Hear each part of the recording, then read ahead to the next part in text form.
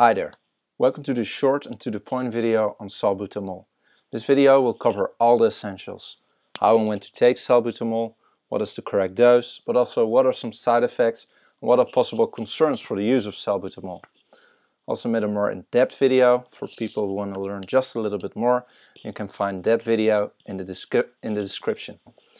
If you liked it, please feel free to subscribe and maybe do thumbs up and let's get into it. First of all, a little disclaimer. This video is meant purely informational. This is not medical advice. And if you're looking for medical advice, always contact your own doctor. So, salbutamol is the generic name of this medication, but it's known under the brand names Ventolin, Airomir, Salamol, and there are some others. It's available in dose aerosols, nebulizers, and an inhalation powder. And you can use this medication when you have an asthma attack or a COPD attack or when you are experiencing breathlessness. And how can you use it?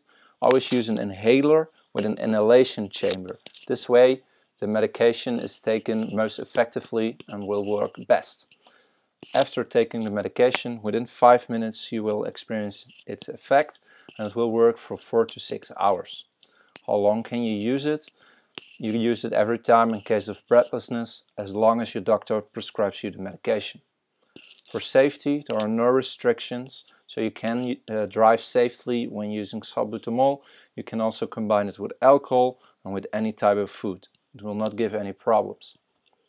For the correct dose, if you're an adult or a child older than 12 years and you're using dose aerosols as shown on this picture, you can use the strength of 100 to 200 micrograms upwards to four times a day, so maximum 800 micrograms a day.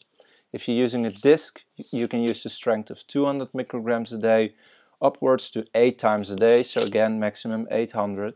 And for a Novolizer, if you want to use that brand, you can use the strength 100 micrograms up to 8 times a day, so maximum 800 again. For children from 6 to 12 years, you could also use Cyclocaps, which is a different brand. You can give the strength of 200 micrograms upwards to four times a day to 800 micrograms a day. Or you can use Novolizer which is 100 micrograms and you can use it four times a day so maximum 400 micrograms. For children from 4 to 11 years you can also give them dose aerosols in the strength of 100 to 200 micrograms maximum 400 micrograms a day so two times maximum. And if you're giving them a disc you can give 200 micrograms maximum four times a day and lastly, for children younger than 4 years, give them dose aerosols, 100 microgram, and if they have insufficient effect, repeat it again after 5 minutes. And if they still have a lot of breathlessness, then always contact your doctor to see if you need a different medication or you should get a checkup. So, salbutamol has very good effects, but it also can have some side effects.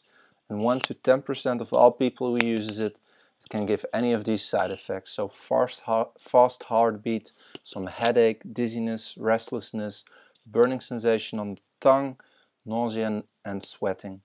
And sometimes, less than 1% of all people that uses will experience palpitations, which is a sensible beating of the heart. They can have muscle cramps in any muscle and an irritation in the mouth or throat. There are other side effects if you think you might be experiencing a side effect, always check your own prescription and contact your doctor if necessary to see if you need another medication or you should adapt the dose. And when you're pregnant and you want to use salbutamol, it's completely safe to do so. You can use it as prescribed and the same can be said for when you uh, are breastfeeding or lactation. It's safe to use, it will not be harmful for the baby and you can use it as prescribed. And there was my short overview on all the essentials of salbutamol or Ventolin as it's called. Uh, if you want to learn a little bit more, check out my in-depth video in the description or ask some questions in the comment section. Feel free to subscribe for more upcoming videos and see you next time. Thank you for watching.